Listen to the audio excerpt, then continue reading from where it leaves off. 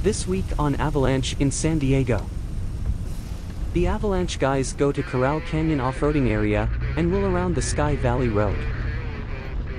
Will we make it? That's for you to find out.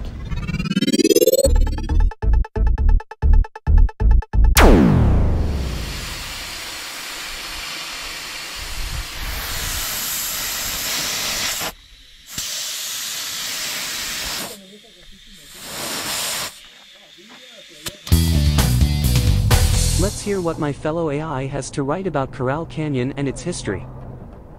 Corral Canyon OHV area is a popular off-road recreation destination in the Cleveland National Forest. The area offers over 50 miles of trails for motorcycles, ATVs, and 4x4 vehicles.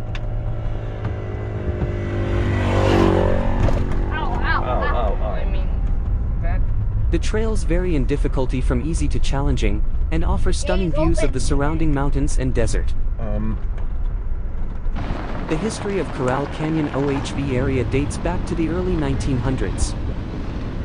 The area was originally used by ranchers and farmers to graze their livestock. In the 1960s, the area began to be used for off-road recreation. The popularity of the area grew in the 1970s and 1980s, and by the That was a 1990s, whoop-de-doo. Corral Canyon OHV area was one of the most popular off-road destinations in Southern California. I'm In recent years, there has been some controversy. Some people argue that the noise and pollution from off-road vehicles is damaging to the environment. Others argue that the area is a valuable resource for off-road recreation, and that it should be protected. The, The Cleveland National Forest is currently Forest. working to develop a management plan for Corral Canyon OHV area. The plan will address the concerns of both sides of the issue, and will strive to find a balance between recreation and conservation. nuclear fusion.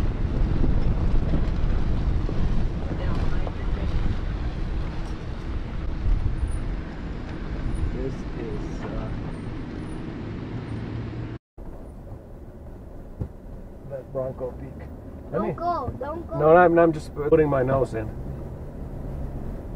Want to see?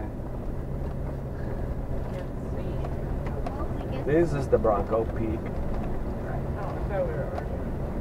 on rear drive.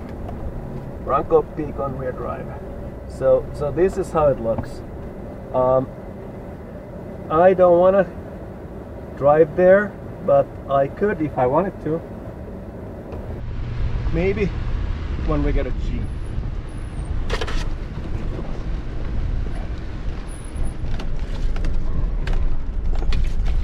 Deep in San Diego.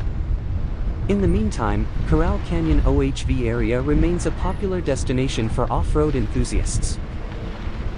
The area offers a variety of trails for all skill levels, and the scenery is stunning. If you are looking for a place to go off-road, Corral Canyon OHV area is a great option. Here are some tips for visiting Corral Canyon OHV area. Be sure to check the weather forecast before you go. The weather in the mountains can change quickly, so it's important to be prepared. Bring plenty of water and snacks. There are no stores or restaurants in the area, so you'll need to bring your own food and water. It's always a good idea to let someone know your plans before you go off-road. Be prepared for the terrain. The trails in Corral Canyon OHV area can be challenging, so be sure to have a vehicle that is up to the task. Respect the environment. Leave no trace of your visit. Pack out what you pack in, and don't damage the plants or animals. With a little planning, you can have a safe and enjoyable trip. Yeah. Uh, it would be. It looks like fun, but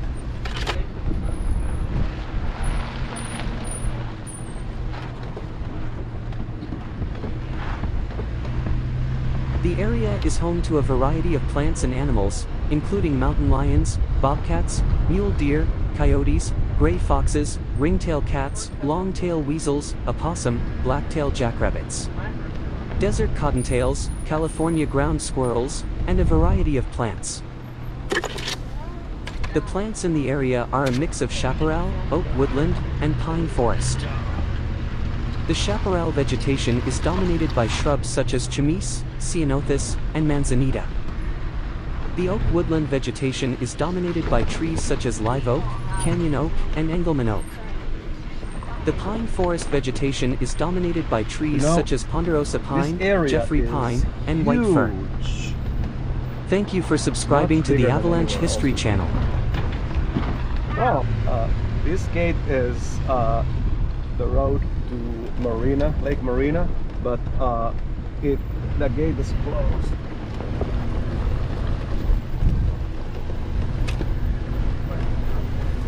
This would have been a good place to have lunch. Okay, there's Lake Morena. And the closed gate.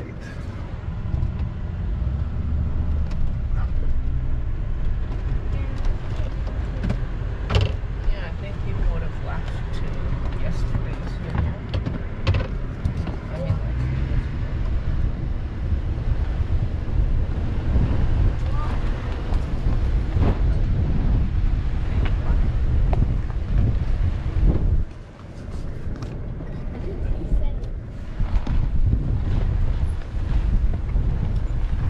so what's your last scheduled video so far? Uh, 23rd.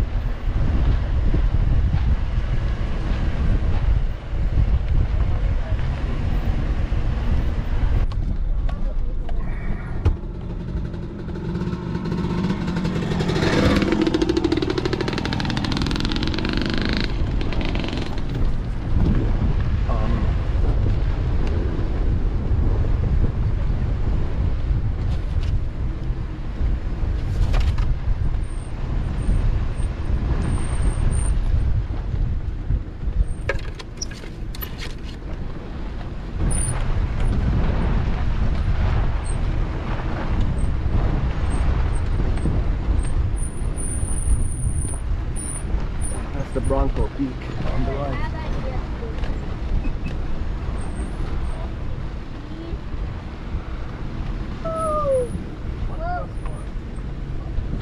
I respect that.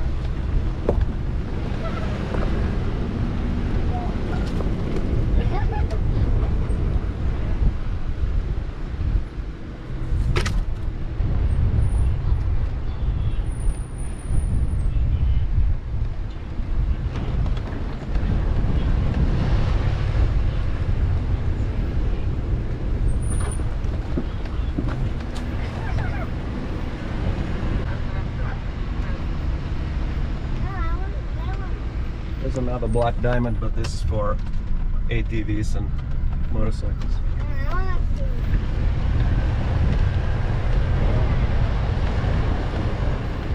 Okay, what's one place?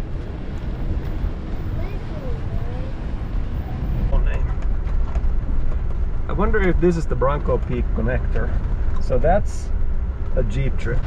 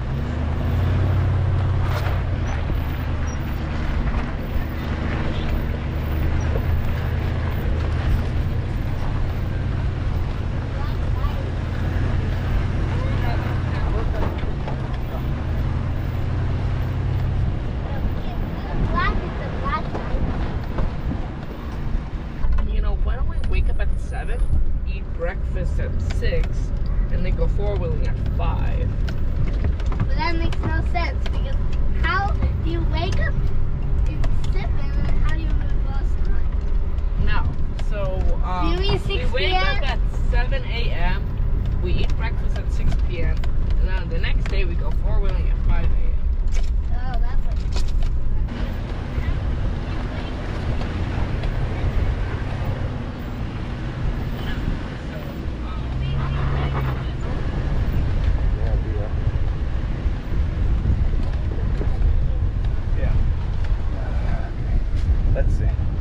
At this point, GoPro ate the bushcraft and cooking section, and we returned to the trail near the sunset.